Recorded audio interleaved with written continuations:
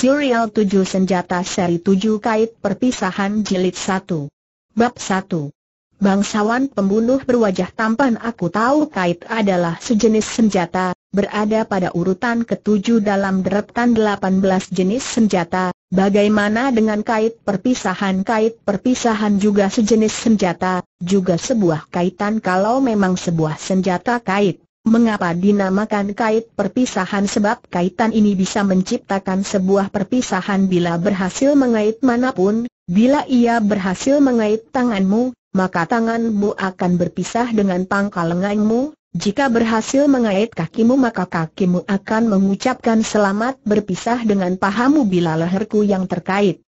Benarti aku akan berpisah dengan dunia ini benar mengapa kau harus menggunakan senjata begitu kejam dan begitu sadis sebab aku tak ingin dipaksa orang untuk berpisah dengan orang yang kucintai aku mengerti maksudmu kau benar-benar mengerti kau menggunakan kait perpisahan karena kau ingin selalu berkumpul betul perpisahan. Kesedihan yang harus diterima orang yang hampir terbetot sukmanya jika tidak mencintai kuda jempolan bukanlah seorang enghyong. Tiada benda yang lebih indah dan nikmat daripada arak wangi yang berlimpah dan kuda jempolan sebanyak ribuan ekor. Jika Anda berminat, kami akan sambut kedatangan Anda dengan gembira. Itulah isi undangan yang disebar congkoan nomor satu dari petemakan kuda Lokjit di wilayah Kuantong. Jiu Hengkian mewakili majikannya Kim To atau ke Tujuan dari undangan itu adalah untuk menyelenggarakan pesta besar yang pertama kali diselenggarakan di petemakan kuda Lokjit untuk mencoba menunggang kuda serta menjual kuda. Tempat penyelenggaraan adalah pesanggerahan Pitsu Sanceng milik Hoa Kei Hokui, bunga mekar banyak rejeki dan terhormat. Hoa Suya, seorang saudagar kaya raya asal kota Lokyang. Waktu penyelenggaraan bulan 3 tanggal dan jam bulan purnama. Undangan semacam ini hanya disebar sebanyak belasan lembar, sasaran yang pantas diundang Jiu Chong Koan memang tidak terlalu banyak. Tentu saja orang yang pantas mendapat undangan adalah para tokoh dunia persilatan serta jago silat kenamaan yang berilmu tinggi. Tidak mencintai kuda jempolan bukanlah seorang Eng Yang hadir hampir semuanya adalah para Eng kawanan Eng Hiong yang pemah menunggang kuda jempolan hasil temak petemakan kuda Lok Jit. Di mana ada matahari terbenam, di situ pasti ada kuda jempotan hasil temak petemakan Lok Jit yang sedang berlarian. Lok Jit sama dengan matahari terbenam, kata moto yang digunakan majikan petemakan kuda ini Kim To atau ke memang merupakan kata-kata yang nyata. Bulan 3, Kota Lok Yang, musim semi. Rembulan pada malam tanggal 17 masih kelihatan bulat, malam telah semakin larut, angin yang berhembus sepoi membawa bau harum bunga yang semerbak. Suara ringkikan kuda jempolan yang sedang berlarian di bukit sebelah belakang, lamat-lamat masih kedengaran, tapi suara manusia telah hening, tak kedengaran lagi orang berbicara. Sinar rembulan memancar masuk melalui luar jendela, meninggalkan sebuah bayangan hitam yang panjang di lantai ketika menyoroti tubuh Jiu Heng Kian yang tinggi kekar. Orang ini mempunyai mata yang besar dengan alis mata yang sangat tebal, jidatnya tinggi, hidungnya mancung seperti hidung elang dan wajahnya penuh bercambang, di bawah sorot sinar rembulan, dia nampak begitu seram dan mengerikan. Dia adalah seorang lelaki sejati, seorang hohan kelas satu di luar perbatasan, tapi saat ini dia nampak sangat gelisah dan tak tenang. Baru pertama kali ini dia memikul tanggung jawab berat, dia berjanji akan mensukseskan tugas dan tanggung jawab ini sebaik-baiknya. Sejak tanggal 15, selama tiga hari ini meski hasil yang diperoleh terhitung sangat memuaskan, Bahkan sekelompok kuda yang berada di kandang terbesar dalam petemakan kuda itu sudah dibeli dengan harga tinggi oleh Hong Chong Piao Tau dari perusahaan ekspedisi Tionggoan Piao Kiok, namun dua pembeli utama yang selalu dinantikan selama ini, hingga kini belum nampak juga batang hidungnya. Semestinya, tidak seharusnya dia mengharapkan kedatangan kedua orang itu. Ho Eso Utai Hiap, pendelcar utara sungai, Ban Kun Bu yang nama besarnya sudah lama menggetarkan sungai telaga sudah tak pemah meninggalkan perkampungannya sejak dia cuci tangan mengundurkan diri dari keramaian dunia persilatan dua tahun berselang. Ti Chingling, bangsawan kelas satu yang kaya raya dan selama ini memandang nama serta harta bagai kotoran kerbau juga tak pemah terlihat lagi batang hidungnya selama berapa tahun terakhir, Selama ini orang tersebut selalu berkelana dalam dunia persilatan, bisa jadi dia belum pernah menerima surat undangan itu. Dia berharap mereka akan datang, sebab kuda terbaik di antara sekumpulan kuda pilihan yang dia bawa jauh-jauh dari luar perbatasan hanya pantas ditunggangi mereka yang besar benar tahu soal kualitas barang. Hanya orang yang tahu soal kualitas barang berani menawar dengan harga tinggi barang yang dibelinya. Dia tak rela bila kuda sebagus itu dibayar bukan pada harga yang sepantasnya, terlebih tak ingin membawa balik rombongan kuda itu keluar perbatasan.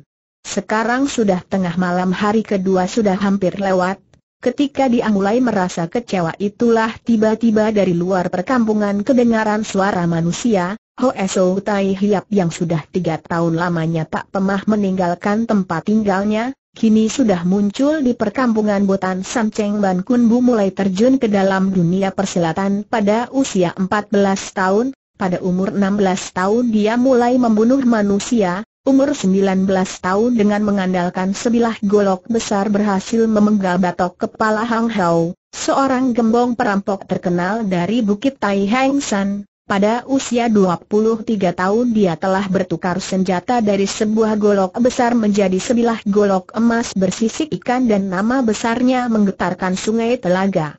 Belum genap 30 tahun dia sudah dihormati dan disegani segenap anggota Bulim sebagai pendekar Ho Utai Hiap.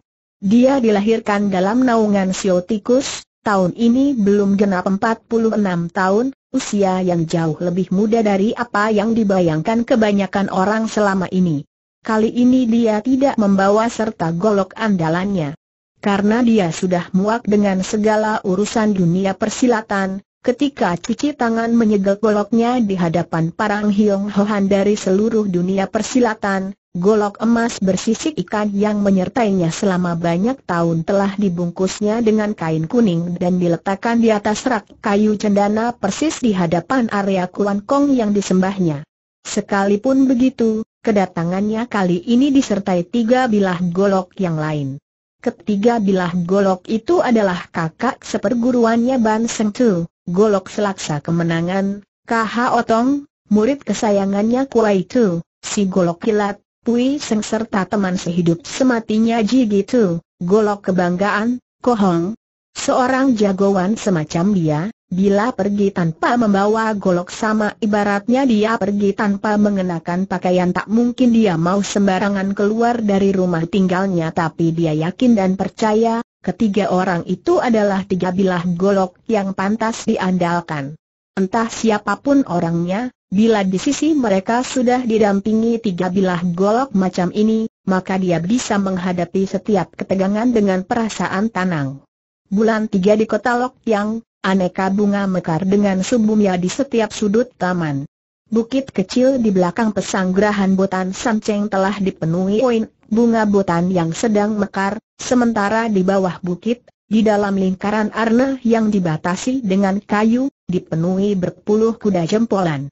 Kuda tak mengerti bagaimana menikmati keindahan bunga botan, sebaliknya bunga botan juga tak mengerti bagaimana menikmati kebagusan seekor kuda, tapi kedua-duanya pantas dinikmati oleh manusia yang sedang menikmatinya.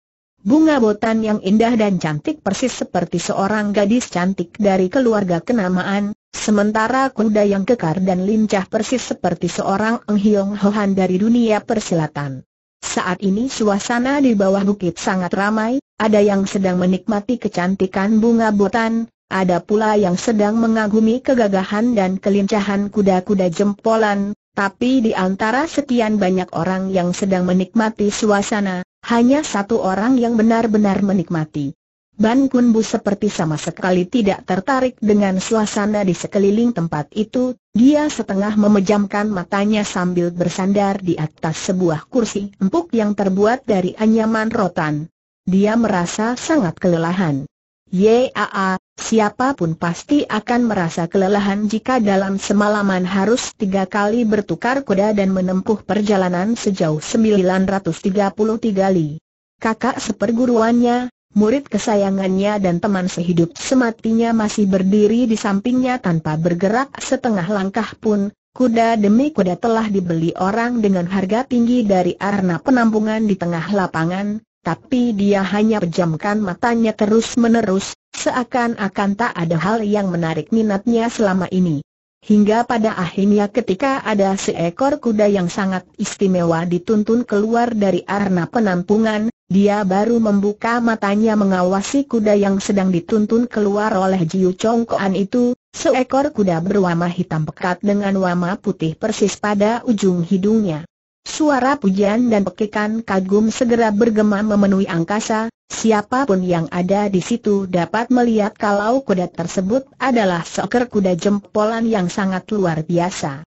Dengan wajah berseri penuh kebanggaan Jiu Heng Tian menepuk-nepuk kepala kudanya, kemudian berkata, kuda ini bernama Sin Chiam, Pariah Sakti, Bantai Hiap, kau adalah seseorang yang sangat ahli dalam hal kuda, Tentunya kau tahu bukan kalau kuda ini adalah kuda mestika yang luar biasa hebatnya. Ban Kun bugelengkan kepalanya berulang kali dengan malas, sahutnya aku bukan seorang ahli, kuda itu pun bukan kuda yang bagus, cukup mendengar namanya saja aku sudah tahu kalau kuda itu tidak bagus kenapa tanya Jiu Heng Kian keheranan. Panah itu tak bisa mencapai jarak yang jauh, lagi pula cepat duluan lambat di belakang, kekuatan akhirnya pasti tidak bagus. Kemudian setelah berhenti sejenak, Ban Kun Bu mengalihkan pokok pembicaraan ke soal lain, ujarnya lagi, sewaktu masih muda dulu, aku punya seorang sahabat, tingkah lakunya tak beda jauh dengan Jiu Chong Koan sekarang, suatu kali dia mengundangku makan seekor ayam, tapi ayam yang tak berpaha walaupun dia sedang bercerita tentang seorang sahabatnya sewaktu masih muda serta seekor ayam yang tak berpaha namun orang lain tidak mengerti apa maksud dari ceritanya itu. Jiu Hengtian juga tidak mengerti, tak tahan tanyanya, kenapa ayamnya tidak berpaha karena sepasang pahanya sudah keburu dipotong oleh tuan rumah untuk dimakan sendiri jawab Ban Kunbu dengan suara hambar, Keadaan seperti ini tak ada bedanya dengan Jiu Chong Kuan sekarang, kuda yang terbagus selalu disembunyikan untuk dipakai sendiri bantai hiap bantah Jiu Heng Kian, dengan ketajaman mata Anda, mana berani aku berbuat hal semacam itu di hadapan Tai Hiap tiba-tiba mencorong sinar tajam dari balik mata Ban Kunbu, katanya, kalau tidak, Kenapa Jiu Chong Kuan sembunyikan kuda tersebut di sana sinar matanya dialihkan ke arna penampungan kuda yang terietak di paling belakang. Dalam arna itu terdapat belasan ekor kuda kurus sisa kuda-kuda yang sudah dipilih orang, di antara kuda kurus itu terlihat seekor kuda berwarna kuning yang tubuhnya kurus kering bagai seekor busur panah yang melengkung, kuda itu diikat sendirian di sudut arna, Gerak-geriknya sangat loyo seperti tak bersemangat, lagi pula selalu menjaga jarak dengan kumpulan kuda lainnya, seakan-akan kuda itu enggan berkumpul dengan rekannya. Maksud bantai hiap kuda kurus itu tanya Jiu Heng Kian sambil mengerotkan dahinya. Betul, kuda itu yang kumaksud Jiu Heng Kian tertawa getir. Bantai hiap, kuda ini adalah kuda setan arak, masa kau tertarik dengan kuda semacam itu setan arak? Jadi kuda itu baru bersemangat bila sudah diberi sedikit arak tepat sekali Jiu Hengklan menghela napas panjang, bila di dalam ransum kuda tidak dicampuri dengan arak, biar lapar seharian pun dia tak mau makan apa nama kuda itu arak tua tiba-tiba Ban Kun Bu bangkit berdiri dan menghampiri kuda itu dengan langkah lebar, kemudian setelah mengamati sejenak binatang itu dengan sorot mata tajam, Mendadak dia mendongakkan kepalanya dan tertawa terbahak-bahak. Arak tua, bagus. Bagus sekali serunya sambil tertawa, nah kalau arak tua pasti punya tenaga lagi pula makin ke belakang semakin bertambah kuat, aku berani bertaruh kalau si panah sakti harus beradu dengannya lari sejauh 500 li, mungkin pada 200 li pertama si panah sakti akan memimpin duluan, tapi setelah lewat jarak itu, dia pasti dapat miampaui si panas sakti pada 200 li terakhir. Kemudian seraya memandang wajah Jiu Heng Kian, tambahnya, kau berani bertaruh dengan aku Jiu Heng dan termenung berapa saat, tiba-tiba dia tertawa keras, sambil tertawa dia acungkan ibu jarinya tanda memuji. Ketajaman metu bantai hiap sungguh mengagumkan pujinya, Ternyata semua urusan tak bisa mengeiyamui pandangan mata bantai hiap. Kembali terdengar suara pujian bergema dari balik kerumunan orang banyak, bukan saja mereka mengagumi ketajaman mata ban kunbu, bahkan pandangan mereka terhadap kuda kurus yang sama sekali tak mencolok itu pun mulai berubah, bahkan ada orang yang berebut membuka penawaran lebih dulu, walaupun tahu bahwa mereka tak akan bisa menangkan persaingan itu dengan Ho Eso Utai Hiap, namun mereka berpendapat sekalipun harus kalah, mereka ingin kalah secara terhormat. Penawaran tertinggi yang diajukan adalah 9.500 tahil satu angka penawaran yang amat besar. Ban Kunbu sama sekali tidak menanggapi teriakan-teriakan orang lain, pelan-pelan dia acungkan tiga jari tangannya sambil membuat satu gerakan tangan tertentu. Jiu Chong Kuan dengan suara lantang segera mengumumkan, Bantai Hiap mengajukan penawaran sebesar tiga laksa tahil, apakah ada orang yang berani mengajukan penawaran lebih tinggi ternyata tidak ada. Setiap orang mengunci mulutnya rapat-rapat, tak seorang pun berani bersuara lagi. Baru saja Ban Kunbu dengan wajah berseri siap menghampiri arna penampungan untuk menuntun kuda kurus itu, mendadak terdengar seseorang berseru dengan suara nyaring, Aku berani menawar tiga laksa tiga tahil paras muka Ban Kun Bu segera berubah hebat, sambil menarik wajahnya dia bergumam, sejak awal sudah kuduga, bocah ingusan ini pasti akan datang mengacau sementara itu Jiu Heng Kian dengan wajah berseri telah berseru, sungguh tak disangkati Xiao Hao muncul juga tepat pada waktunya kerumunan orang banyak segera menyebar ke kiri kanan membuka jalan, Siapa pun ingin melihat macam apakah wajah bangsawan nomor wahid, pemuda paling romantis dalam dunia persilatan saat ini.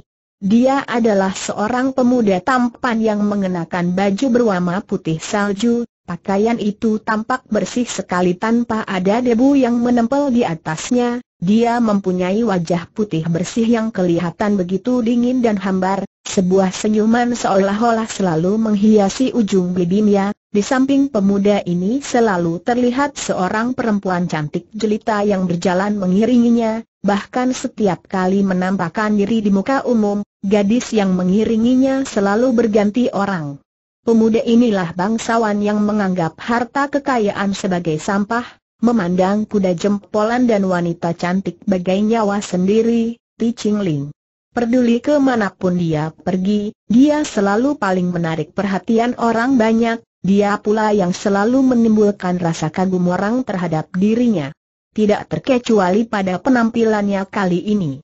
Gadis cantik yang mendampinginya hari ini adalah seorang gadis cantik berbaju merah segar, gadis itu mempunyai kulit badan yang putih bersih, bibir mungil bernarna merah seperti bunga to, metu yang bening dan sangat menawan hati serta pipi yang semu merah seperti orang yang sedang mabuk arak.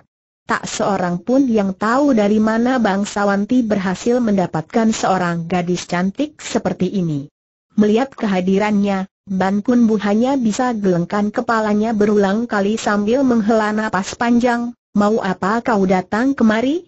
Kenapa kau harus datang kemari? Bangsawan Ti memandangnya sekejap sambil tertawa hambar, dengan perkataan yang paling singkat dia beritahu kepada Ban Kun Bu, Aku datang untuk mencelakaimu. Mencelakai aku?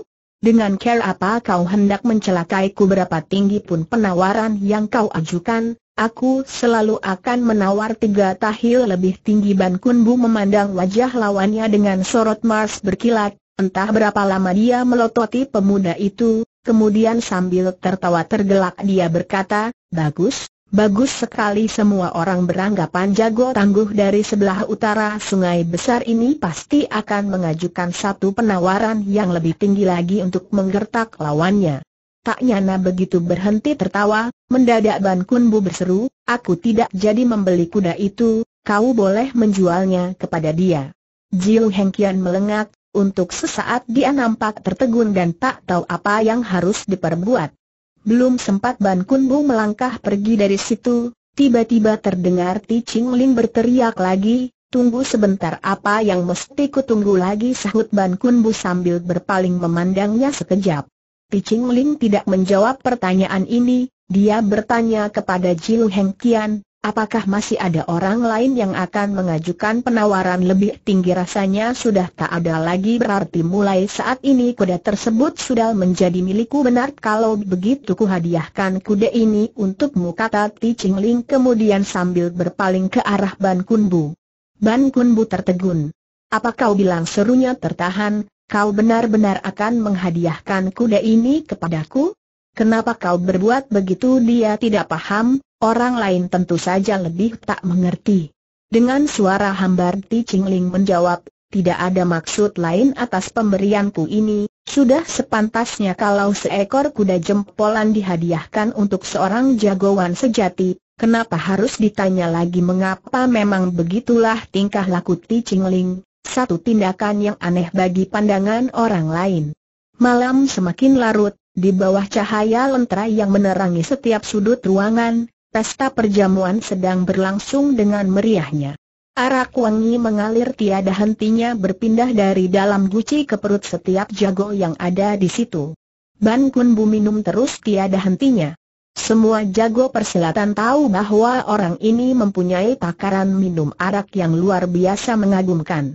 Bukan saja Bantai Hiap memiliki ilmu golok yang tiada keduanya di kolong langit, takaran minum araknya juga tiada tandingan di dunia saat ini tentu saja hari ini dia minum sangat banyak, luar biasa banyaknya. Mau tidak mau dia harus menerima maksud Bakti Chingling, namun setelah menerima kebaikannya dia pun tak tahu harus merasa gembira atau tidak. Oleh sebab itulah dia terus minum arak karena setelah minum arak dia akan merasa sangat gembira. Kakak seperguruannya, murid kesayangannya serta teman sehidup sematinya membiarkan dia minum sepuas hati, sebab tempat yang digunakan min minum adalah kamar pribadi dan Hoa Suya, tidak banyak tamu yang diundang dalam pertemuan kali ini, lagi pula asal-usul setiap orang yang hadir di situ pun sudah diperiksa secara ketat dan teliti, karenanya tempat itu boleh dibilang aman sekali. Ban Kun Bu sering berkata kepada teman-temannya bila seseorang kelewat cepat ternama dalam dunia persilatan, hal ini bukanlah satu kejadian yang menggembirakan, sebab orang yang kelewat cepat ternama biasanya pada waktu malam susah untuk tidur nyenyak contohnya orang macam dia, dalam melakukan pekerjaan dan perbuatan apa pun semuanya harus dilakukan ekstra hati-hati, karena sangat berhati-hati maka dia bisa hidup sehat hingga hari ini. Sekalipun ada orang menginginkan nyawanya, belum tentu kesempatan semacam itu bisa didapatkan secara mudah. Orang pertama yang mengundurkan di dan pesta meriah itu adalah Ti Ching Ling. Sejak dulu dia tak pemasuka minum arak, dia pun merasa amat lelah, Apalagi di dalam kamar tamu yang disiapkan tuan rumah masih ada seorang wanita cantik yang menunggunya bagi sebagian besar orang, asal ada alasan yang terakhir pun sudah lebih dari cukup untuk mundur lebih cepat dan pasta pora yang meriah itu. Setiap orang dengan membawa sorot mata kagum dan iri mengiringi kepergian pemuda tampan itu, bukan hanya kagum bahkan sangat memuji, kerja bangsawan Ti memang menarik dan menggiurkan, Tak heran banyak perempuan cantik yang mencintainya setengah mati. Hoa Suya termasuk orang yang sangat terbuka dan luas pandangannya. Dia berperawakan tinggi besar, gemuk tapi berotot, jujur, berkemauan karat dan punya sikap yang hangat terhadap siapa pun, wajahnya yang gemuk lagi bulat sama sekali tidak mencerminkan kelicikan maupun kemunafikan, Walau saban tahun dia harus berapa kali ditipu orang, namun masalah semacam itu tak pernah dimasukkan ke dalam hati. Sudah berapa ekor kuda yang kau bel kali ini? Tanya Ban Kun Bu kepadanya. Tak seekor pun yang ku beli jawab Hoa Suya sambil tertawa terkekeh-kekeh, sebab baik Kim Toa tanya maupun Jiu Chong Kuan sama-sama adalah sahabatku, aku tak boleh mencelakai teman sendiri, tak boleh membuat mereka tertipu olehku, karena itu hanya aku yang ditipu orang, bukan aku yang menipu temanku sendiri Ban Kun Bu tertawa terbahak-bahak. Bagus, bagus sekali. Serunya hahaha, aku pantas menghormati tiga cawan arak kepadamu selesai minum tiga cawan arak, kembali Hoa Suya balas menghormatinya dengan tiga cawan arak, setelah itu Ban Kun Bu pun berpamit untuk meringankan tubuhnya sebentar. Tak heran orang ini mempunyai takaran minum yang luar biasa, sebab dia memiliki sebuah rahasia dalam teknik minum arak yaitu dia bisa muntah. Begitu selesai minum arak dalam jumlah banyak, dia pasti berpamit untuk muntah dulu. Selesai muntah, dia akan kembali untuk melanjutkan minumnya lagi. Itulah rahasia darinya. Walaupun kakak seperguruannya, murid kesayangannya dan teman sehidup sematinya semuanya ikut mengetahui rahasia ini, namun dia selalu menganggap mereka tak pernah tahu. Karena itu mereka pun terpaksa harus berlagak seolah-olah tidak tahu. Oleh sebab itu ketika dia berpamit mau meringankan tubuh, mereka membiarkan dia pergi seorang diri. Di atas liang yang amat dalam tampak melintang papan kayu cendana sebagai tempat pijakan, di atas papan tempat pijakan dilapisi sebuah karpet yang indah sementara pada dasar liang dilapisi bulu angsa. Hoa Suya memang termasuk orang yang pandai menikmati hidup, apa yang dia inginkan selalu dipersiapkan secara lengkap dan sempurna, termasuk tempat untuk meringankan tubuh pun tanpa kecuali.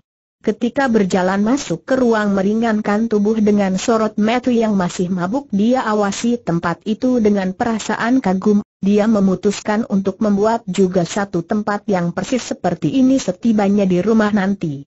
Maka dia pun mulai muntah.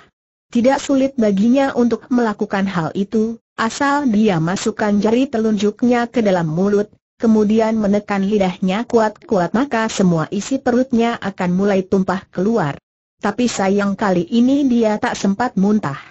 Baru saja dia masukkan jari telunjuknya ke dalam mulut, tiba-tiba muncul sebuah tangan yang lain dari belakang tubuhnya, tangan itu langsung menekan dagunya ke atas sehingga sebaris giginya langsung menggigit ujung jarinya sendiri.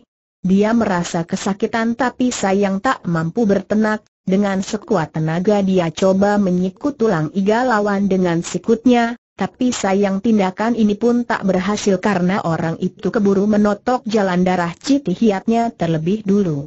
Ilmu silat yang dilatihnya dengan susah payah selama 28 tahun, kini tak satu pun yang bisa digunakan, kini seluruh tenaga dan kekuatan tubuhnya telah hilang musnah. Padahal dia memiliki pengalaman bertempur yang sangat matang, banyak sudah korban yang berhasil dibunuhnya, banyak juga orang yang ingin menghabisi nyawanya, tapi hanya orang ini yang mampu memanfaatkan kesempatan yang sangat baik ini untuk membekuknya. Kini, dia hanya ingin tahu siapakah orang itu. Tampaknya orang ini pun berniat untuk memberitahu siapakah dirinya, dengan suara setengah berbisik katanya pelan, sejak tadi aku toh sudah beritahu kepadamu, aku datang untuk mencelakaimu, sudah lama aku melakukan penyelidikan serta pengamatan, setiap urusanmu, setiap tindak tandukmu sudah kuselidiki sangat jelas, bahkan mungkin lebih jelas daripada dirimu sendiri. Aku pun tahu saat ini kau pasti akan datang kemari untuk muntah. Kemudian setelah berhenti sejenak, dia menambahkan dengan suara dingin, oleh karena itu, kau boleh mati dengan perasaan tenteram, mati tanpa menyesal Ban Kun Bu segera tahu siapakah orang itu, hanya sayang selama hidup dia tak berkesempatan lagi untuk bicara. Pada saat yang terakhir dia hanya sempat menyaksikan berkilatnya selapis cahaya pisau, begitu tawar cahaya itu persis seperti sekilas cahaya fajar yang baru muncul di ufuk timur saat itu. Menyusul kemudian dia merasa ulu hatinya sakit sekali, Sebilah pisau belati sudah menusuk masuk dari tulang iga dada sebelah kirinya langsung tembus hingga ke jantungnya. Sebilah pisau yang sangat tipis, lebih tipis dari selembar kertas. Tak ada orang yang bisa melukiskan kecepatan gerak pisau tipis itu.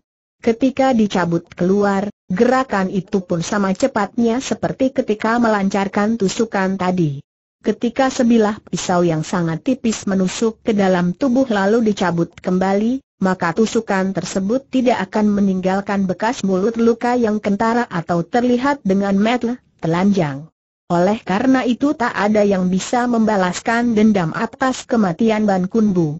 Sebab kematiannya disebabkan minum arak kelewat banyak, dalam pandangan kebanyakan orang, mereka sependapat bahwa seseorang yang minum arak kelewat banyak, sering kali bisa mati secara mendadak tentu saja semua orang tak pemah menyangka kalau peristiwa kematian ini mempunyai hubungan yang erat dengan bangsawan yang baru saja menghadiahkan seekor kuda jempolan kepadanya. Oleh sebab itu kuda jempolan tetap mengikuti layon majikannya pergi meninggalkan tempat itu, sementara Ti Ching Ling pergi sambil diikuti perempuan cantik miliknya. Nanti ketika dia munculkan diri sekali lagi di kemudian hari semua orang pasti masih tetap akan memandangnya dengan sorot mata kagum serta memuji, tak akan ada orang yang percaya kalau dia pernah membunuh orang, menghabisi nyawa seseorang tanpa menimbulkan suara dan menggunakan gerakan yang menyolok. Memang inilah ciri khas dari Ti Chingling, teknik membunuh orang yang tiada duanya di kolong langit. Ruangan dalam kereta kuda itu lebar dan terasa sangat nyaman, bukan saja kuda yang menghela kereta itu terdiri dari kuda-kuda pilihan, Seng Kusir pun sangat mahir dalam mengendalikan kereta kuda itu. Duduk di dalam kereta kuda yang diperoleh Ti Ching Ling dari tangan seorang permaisuri raja yang ditukar dengan sebuah mutiara mestika ini serasa duduk di dalam sebuah perahu pesiar di telaga Siou yang berair tenang, bahkan sama sekali tidak terasa kata kereta itu sedang bergerak. Sisi dengan mengenakan sebuah jubah sutra berwarna merah yang amat lembut duduk melingkar di sudut ruang kereta bagaikan seekor kucing Persia, saat itu dengan menggunakan tangannya yang putih mulus dengan kuku yang diberi cat merah, sedang menyuapi kekasihnya dengan buah anggur yang manis dan segar. Dia adalah seorang wanita yang lemah lembut, cantik dan cerdik, dia sangat mengerti bagaimana menikmati hidup, juga tahu bagaimana kaum lelaki menikmati kemesrahan yang dia berikan. Dia tak ingin kehilangan lelaki yang berada di sisinya saat ini, tapi dia sadar, sudah saatnya akan segera kehilangan lelaki itu. Picing Ling tidak pernah membiarkan seorang wanita berada di sisinya terlalu lama. Tapi Sisi telah mengambil keputusan, dia harus berupaya agar bangsawan Ti menahannya lebih lama. Ti Ching Ling mengawasi terus perempuan yang berada di sisinya, mengawasi sepasang kakinya yang telanjang, putih, indah dan lembut yang muncul dari balik jubah sutra merahnya. Dia tahu, Tubuh di balik jubah sutra berwarna merah yang membalut badan perempuan itu adalah sebuah tubuh telanjang bulat yang sangat indah dan menggairahkan nafsu syawat. Tubuh perempuan itu lembut, putih, halus dan montok, apalagi sewaktu mencapai puncak kenikmatan, seluruh badannya akan berubah jadi dingin bahkan akan gemetaran terus tiada hentinya. Sisi memang tahu bagaimana Carol untuk menaklukkan seorang pria, dia tahu bagaimana Carol mengendalikan seorang lelaki. Bagi Ti Chingling yang sudah kelewat banyak menikmati tubuh wanita, hanya perempuan ini yang terasa sangat cocok bagi seleranya, hanya perempuan ini yang selalu memberikan kepuasan seks kepadanya. Dia ambil keputusan akan menahannya lebih lama, gejolak hawa panas yang timbul dalam tubuhnya membuat dia mengambil keputusan tersebut.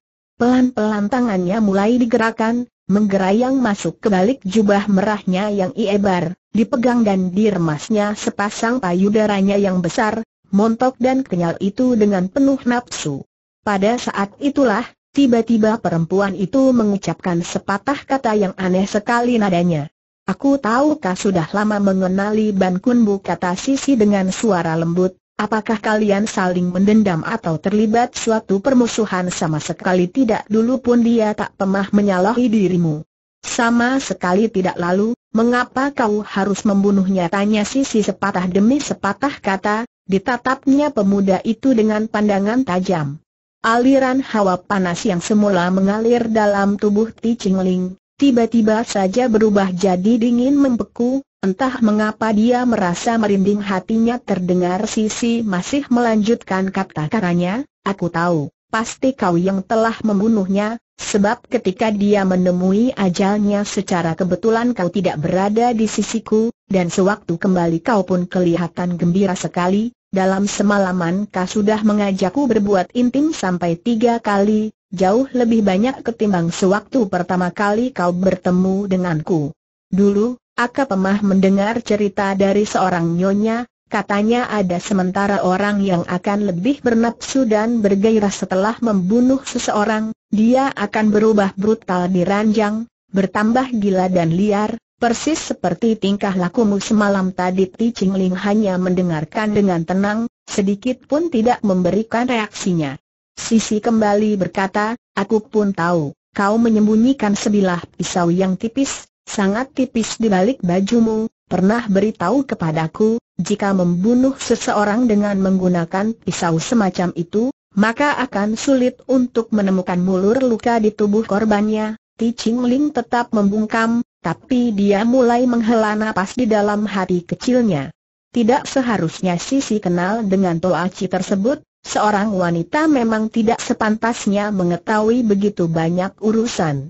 Sisi kembali mengawasi kekasihnya, sambil membelai wajah pemuda itu dengan lembut, katanya lebih jauh, kau tak perlu merahasiakan urusan apa pun kepadaku, toh aku sudah menjadi milikmu, aku tak peduli kau akan melakukan perbuatan apa pun, aku tetap akan selalu mengikuti dirimu setelah berhenti sejenak, kembali terusnya dengan lembut, oleh sebab itu kau boleh berlega hati, aku tak akan bercerita tentang perbuatanmu, biar sampai mati pun tak akan kuceritakan ada suaranya bertambah halus dan lembut belayan tangannya juga bertambah lembut.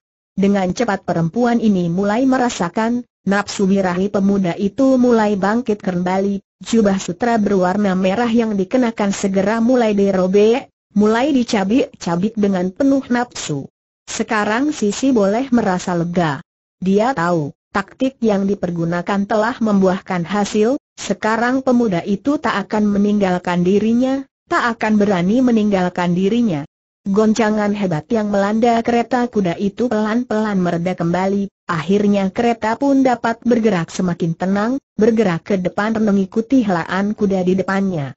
Dari bawah tempat duduknya Ti Ching Ling ambil keluar sebotol arak anggur, setelah meneguk satu cawan kecil dia baru berkata, Tadi kau bertanya kepadaku kenapa harus membunuh Ban Kunbu, perlukah aku beritahu kepadamu sekarang asal kau mau bercerita, aku akan mendengam ya aku bunuh dia karena ada seorang sahabatku tidak menginginkan dia hidup terus kau punya sahabat Sisi tertawa. Aku belum pernah tahu kalau kau pun punya sahabat setelah berpikir sejenak kembali tanyanya, apa pun yang diminta sahabatmu itu, kau selalu akan mengabulkan permintaannya Ti Ching Ling manggut-manggut. Hanya dia yang bisa membuatku berbuat begitu sebab aku sudah hutang budi kepadanya Bangsawan Ti menjelaskan, sekarang dia adalah seorang pentolan paling top dari sebuah organisasi rahasia terbesar dalam dunia persilatan, dia pernah membantuku satu kali, satu-satunya syarat yang dia ajukan hanyalah ketika dia butuh aku melakukan suatu pekerjaan, maka aku tak boleh menolak.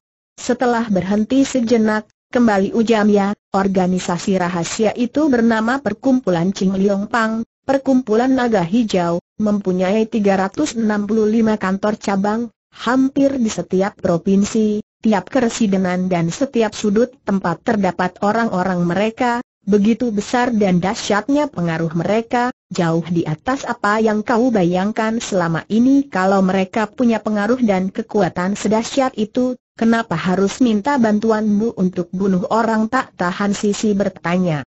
Sebab ada sementara orang yang tak bisa membunuh orang, sebab setelah membunuh, akibat yang timbul terlalu besar, kesulitan dan pertikaian yang muncul juga kelewat banyak, apalagi manusia macam begini tentu mempunyai banyak sahabat, mereka tentu akan berupaya untuk membalaskan dendam sakit hatinya Yaa, benar juga, pihak kerajaan pasti akan mengirim petugas untuk melakukan penyelidikan sisi mengangguk.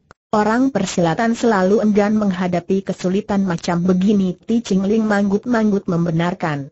Biasanya orang yang tak mungkin bisa dibunuh justru dapat kubunuh dengan mudah, dan cuma aku yang bisa membunuh katanya, sebab siapa pun tak akan mengira kalau aku bisa bunuh orang, karena itu setelah membunuh orang aku pun tak akan menghadapi banyak kerepotan, terlebih tak akan menyusahkan sahabatku itu Sisi tidak bertanya lebih jauh, karena sekarang dia lebih lega, dia merasa lega sekali.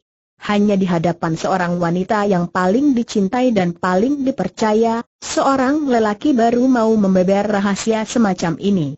Dia bertekad untuk menjaga rahasia ini dengan sebaik-baiknya sebab dia pun sangat mencintai lelaki yang kadang lembut bagaikan alur air, kadang dingin bagaikan salju dan terkadang begitu panas dan bergairah bagai kobaran api ini.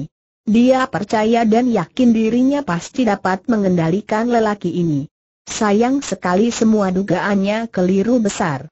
Walaupun dia sangat memahami kaum pria, tapi pria yang berada di hadapannya saat ini justru sulit dipahami oleh siapa pun. Bahkan dia sendiri pun terkadang tidak paham dengan diri sendiri.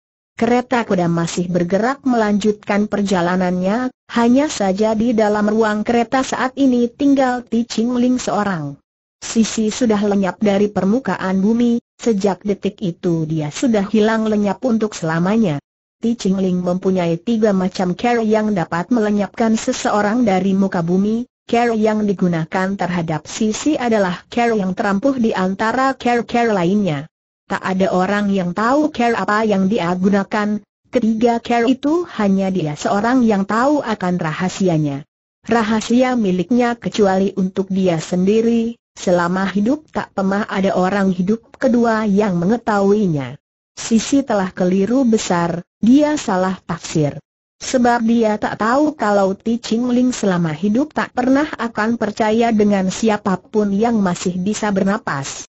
Dia pun tak tahu kalau satu-satunya orang yang paling dicintai Ti Ching hanya diri sendiri. Jika seorang wanita semacam Sisi lenyap secara tiba-tiba dari muka bumi, kejadian ini tak mungkin bisa menimbulkan kesulitan ataupun persoalan apa pun. Sebab perempuan semacam ini tak lebih hanya seperti pohon yang liu yang dipermainkan hembusan angin, bagai daun teratai yang mengapung di atas permukaan air, seandainya dia lenyap maka orang akan menduga besar kemungkinan dia sudah kabur bersama seorang playboy, atau mungkin dia sudah disembunyikan seorang saudagar kaya raya dalam rumah emasnya, atau bahkan mungkin dia sedang bersembunyi di dalam sebuah kuil kecil di tengah hutan dan mencukur rambut jadi nikou. Perempuan semacam dia memang bisa melakukan perbuatan apa pun. Oleh karena itu dikala dia merasa yakin dapat hidup mendampingi Ti Ching Ling secara aman dan tenteram, justru Ti Ching Ling mempersilahkan dia pergi meninggalkan dunia ini untuk selamanya dan hal ini merupakan salah satu ciri khas Ti Ching Ling terhadap kaum wanita. Toachi sedang bersandar di sisi pembaringan yang terbuat dari tembaga dengan wama merah menyala, dalam hati kecilnya dia sedang berpikir, sudah seharusnya Sisi tiba di rumah, kenapa dia belum juga muncul dia sangat mencintai Sisi, sebab di kolong langit saat ini dia sudah tak punya sanak maupun keluarga lagi, dan dia pun sudah mulai terbiasa disebut orang sebagai Toachi. Seorang wanita macam dia ternyata dipanggil orang sebagai Toachi, kakak tertua, sesungguhnya kejadian ini merupakan satu kejadian yang amat memilukan. Usia remajanya sudah lama berlalu, sekarang, dia hanya berharap Sisi tidak meninggalkan dirinya dan tidak mengecualkan harapannya, dia berharap Sisi bisa menikah dengan seorang pria yang jujur dan setia. Sayang sekali Sisi justru tak pemasuka dengan pria yang jujur dan bersikap setia. Sisi terlalu pintar, kelewat angkuh, dia ingin hidup menonjol, dia ingin jadi bini orang tenar, orang kaya, persis seperti sikapnya ketika masih muda dulu. Di tengah ruangan tersedia sebuah meja bulat yang terbuat dari kayu cendana, di sisi meja duduk seorang lelaki kurus kering, berkulit hitam, berwajah murung dan usianya sekitar 30 tahunan, dia duduk termenung sambil mengawasi perempuan itu tanpa berkedip. Pemuda ini bernama N. Yeo Ching, teman mainnya semasa kecil, boleh dibilang dia merupakan sahabat karibnya sejak kecil hingga kini. Ketika berusia 15 tahun, gara-gara tak punya uang untuk mengubur kedua orang tuanya, dia terjun dalam kehidupan malam sebagai seorang pelacur, Setelah berpisah belasan tahun akhirnya mereka berdua lagi di situ, sungguh tak disangka lelaki muda itu sudah jadi seorang komandan opas di kota Kersidenan tersebut. Dengan jabatan serta kedudukannya sekarang, tidak pantas dia mendatangi tempat pelacuran seperti ini. Tapi kenyataannya hampir setiap dua tiga hari sekali, dia pasti datang berkunjung, setiap kali datang, dia hanya duduk termenung di situ sambil mengamati wajahnya tanpa berkedip. Di antara mereka berdua sama sekali tak ada ikatan hubungan seperti apa yang diduga orang lain, hubungan perasaan mereka berdua tak akan dipahami orang lain, juga tak akan dipercayai siapa pun dia selalu nasihati Nyo Ching agar tidak terlalu sering datang berkunjung, agar terhindar dari perguncingan orang, yang mana dapat mempengaruhi dan menodai nama baik serta karier kerjanya. Tapi Nyo Ching selalu bilang, selama aku tidak melakukan perbuatan yang melanggar norma susila dan norma hukum, peduli amat dengan perguncingan orang, aku tetap akan mendatangi tempat yang ingin kudatangi dia memang seorang lelaki keras hati. Selama dia anggap hal tersebut patut dilakukan, selama tidak melanggar norma susila, tidak melanggar norma hukum, biarpun ada golok mengancam di tengkuknya, tak seorang pun bisa mencegah sepak terjangnya. Dia bertekad akan menikahinya.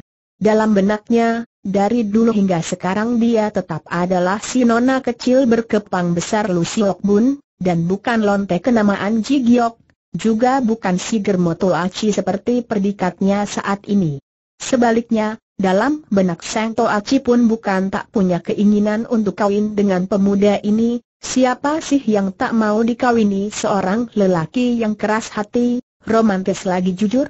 Sejak berapa tahun berselang, dia telah menebus perempuan itu dari rumah bordil, asal dia bersedia, setiap waktu setiap saat dia akan memboyongnya ke rumah. Tapi dia tak boleh berbuat begitu, pemuda itu setahun lebih muda dari usianya, dalam pandangan para anggota kepolisian, dia adalah seorang hohan yang jujur, bersih, punya masa depan cemerlang, banyak sahabat dan mampu bekerja. Sebaliknya dia sendiri tak lebih seperti sekuntum bunga yang mulai layu, mulai kusam dan sudah sering diinjak kaki banyak orang, dia tak lebih hanya seorang lonte yang tak bermoral, seorang lonte busuk yang sama sekali tak ada harganya. Dia tak mau memusnahkan masa depannya, Kenapa dia mesti bulatkan tekad untuk menampik pinangannya, dia lebih suka hidup seorang diri dalam kesepian, seorang diri menyeka air mata kala terjaga dari tidurnya tengah malam. Tiba-tiba Nyocing bertanya, apakah Sisi telah menemukan seorang lelaki yang baik, apakah dia sudah dikawini? Seseorang aku pun berharap dia bisa peroleh seorang suami yang baik. Lu Syok Bun menghela napas panjang, sayang cepat atau lambat akhirnya dia harus kembali juga. Kenapa kau tahu tentang manusia yang bermamati Ching aku tahu, keturunan bangsawan kelas 1, seorang pendekar muda yang romantis dan amat termasyhur dalam dunia persilatan jawab Ngo Ching, jadi Sisi pergi bersamanya, Lu Sok Bun mengangguk. Mana mungkin seorang lelaki macam Ti Ching Ling dapat menaruh cinta murni terhadap seorang wanita? Paling banter cuma buat main-main, setelah bosan ditinggal begitu saja kembali Nyo Ching duduk termangu berapa saat lamanya, kemudian pelan-pelan dia bangkit berdiri. Aku pergi dulu katanya, malam ini aku masih punya tugas untuk dilaksanakan Lu Shok Bun tidak berusaha mencegah, dia pun tidak bertanya tugas apa yang hendak dilaksanakan. Dalam hati mestinya dia ingin menahannya, ingin bertanya kepadanya, berbahayakah tugas yang akan dijalankan? Di dalam hati kecilnya, dia selalu mengkhawatirkan keselamatan jiwanya, begitu khawatir sehingga kadang-kadang sukar untuk tidur. Namun di luar, ia hanya berkata hambar kalau begitu pergilah malam semakin hening. Di depan pintu gerbang rumah bordil Gie Hang Wan tergantung dua buah lentera merah yang amat besar, dipandang dari kejauhan, lentera itu mirip sekali dengan sepasang mata hewan buas.